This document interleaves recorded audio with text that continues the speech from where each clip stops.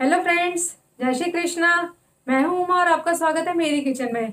आज हम बनाने जा रहे हैं पेपर पनीर पराठा। इसकी हम स्टफिंग पनीर से करेंगे। तो चलिए रेसिपी शुरू करते हैं। पेपर पनीर पराठा बनाने के लिए यहाँ पे मैंने लिया है सौ, दो सौ ग्राम पनीर, जिसे मैंने ग्रेट करके ले लिया है। धनिया पत्ती, जिसे मैंने बारीक काट लिया है। प्याज, जिसे मैंने बारीक काट लिया है। दो हरी मिर्ची, जिसे मैंने बारीक काट लिया है। सूखे मसाले देख लेते हैं। यहाँ पे मैंने लिया है आधा छोटा चम्मच जीरा, अजवाइन, काली मिर्ची, रेड चिल्ली फ्लेक्स, जीरा पाउडर, चाट मसाला पाउडर, जीरा और काला नमक। और थोड़ा सा हम नमक भी ले लेंगे। अब हम चलते हैं इसकी स्टफिंग बनाने की तरफ़। स्टफिंग बनाने के लिए एक मिक्सिंग बोल में पनीर निकाल लेंगे सारा। इसमें ग्रीन चिल्ली मिला देंगे अपनी, दो बारीक कटी हुई हरी मिर्ची मिला देंगे। प्याज, दो जो हमने मीडियम साइज़ के बारीक काट के रखे हैं, वो मिला देंगे। और धनिया पत्ती मिला देंगे। सारे सूखे मसाले मिला देंगे हम इसमें अपना, आधा चम्मच जीरा, आधा चम्मच अजवाइन, एक चम्मच मैंने यहाँ पे लिया है चाट मसाला, आधा चम्मच लिया मैंने भुने जीरे का पाउडर, आधा चम्मच रेड चिली फ्लेक्स, आधा चम्मच काली मिर्ची पाउडर और आधा चम्मच ये काला नमक और ये वाइट नमक। मिक्स कर देंगे सारी चीज़ों को अच्छे से। ये मिक्स करके हमारी फिलिंग बिल्कुल तैयार हो गई है स्टफिंग। पनीर की स्टफिंग हमारी तैयार है तो चलती है पराठे बनाने की तरफ़। यहाँ पे मैंने डो जो है वो पहले से रेडी करके रखा हुआ है। जैसे नॉर्मल सॉफ्ट डो जो हम लगाते हैं रोटी चपाती के लिए, वैसे ही लगाना है। अब थोड़ा सा इसमें से पोर्शन ले लेके हमें नॉर्मल जैसे एक रोटी बेलनी होती है, हम वैसे इसकी पहले एक पूरी रोटी बेलेंगे। रोटी आप अपने हिसाब से बड़ी छोटी जैसे भी बेल सकते हैं।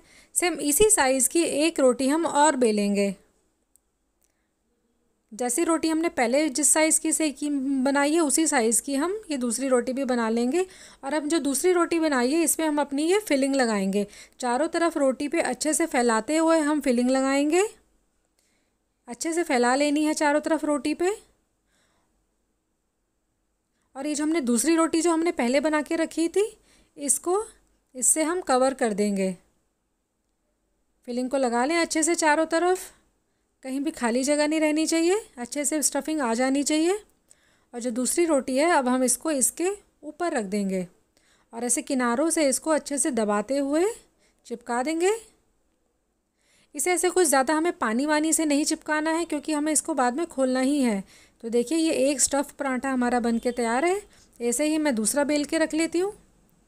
आटे का थोड़ा सा पोर्शन लेके उसे उसकी तरह एक रोटी बना लेनी है पहले। इसको साइड रख देंगे। सेम इसी साइज़ की हमें एक रोटी और बना लेनी है। अब इसके ऊपर हम लगा देंगे अपनी स्टफिंग उसी तरह से जैसे हमने पहले वाले पराठे पे लगाई थी। और दूसरी रोटी से इसको कवर कर देंगे, जो रोटी हमने पहले बना के रखी है। और ऐसे किनारों से इसको अच्छे से चिपकाते हुए ये हमारा दूसरा स्टफिंग तैयार है। अगर आपको लगता है कि थोड़ी सी स्टफिंग एक ही जगह पे है तो आप इसको बेल के बराबर कर सकते हैं। मैंने इसको थोड़ा सा बेल के बराबर कर लिया था। ये देखिए, हमारी स्टफिंग तैयार है। यहाँ पे मैंने तवा रख दिया था गर्म होने के लिए। एक तरफ़ घी लगा देंगे, नॉर्मल जैसे पराठा सेकते हैं, उसी तरह इसको सेक लेंगे। घी या तेल आप कुछ भी लगा सकते हैं, जो आपका मन हो। चारों तरफ़ लगाते हुए अच्छे से सेकेंगे। इसको फ्लिप करके दूसरी तरफ़ भी लगा लेंगे। इस तरफ़ भी अच्छे से घी लगाते हुए सेक लेंगे।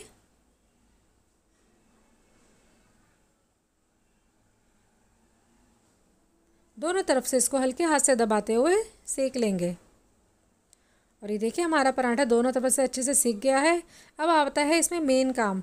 ये हम क्या करेंगे, इसको जो हमने दो रोटी बनाई थी, उसको अलग अलग कर लेंगे इस स्पैचुला की हेल्प से। और ये देखिए, हमारे दो पेपर पनीर पराठे बन के तैयार हैं। ये जो हम दो रोटी लगाते हैं ना, वो अपने आप घी में सीखने के बाद अलग अलग हो जाती है। लेकिन ये बहुत गर्म होती है, आप इसको ध्यान से करें और इसको ऐसे रोल कर लें। ये एकदम पतली लेयर निकल के आती है हमारी, इसलिए इसका नाम हमने पनीर पेपर पराठा रखा है। इसी तरह से हम अपना दूसरा पराठा भी सेक लेते हैं। ये देखिए, हमारे पतले पतले पनीर पराठे बन गए हैं। मैं दूसरा भी पराठा सेक लूँगी अपना। इसको हाथ से थोड़ा सा दबा दें तवे पे रखने के बाद। दोनों तरफ़ घी लगाते हुए पराठे की तरह सेक लेंगे। जब हम इसकी दो लेयर अलग करेंगे तो आप बहुत केयरफुली करें ये बहुत गर्म होता है, किसी स्पैचुला या किसी चिमटे या टोंग की हेल्प से आप इसकी लेयर निकालें। मैं एक दो बार पहले इसको ऐसे निकाल चुकी हूँ, इसलिए मुझे पता था ये गर्म होगा, आप इसको बहुत ध्यान से करें। जब हम हम इसकी ऐसे करके लेयर निकालते हैं तो ये बहुत गर्म होता है, आप इसको ध्यान से करें। ये दोनों तरफ़ से हमारा पराठा सीख गया है, अब हम इसकी ये लेयर निकाल लेंगे।